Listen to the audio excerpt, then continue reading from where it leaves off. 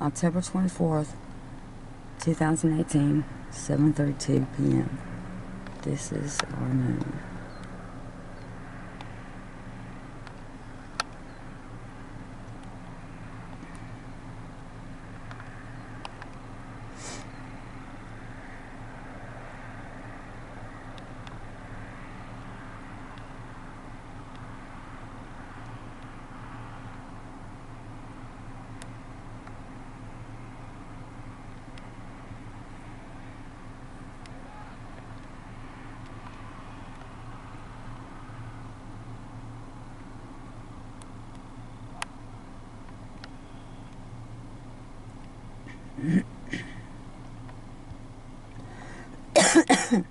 Excuse me.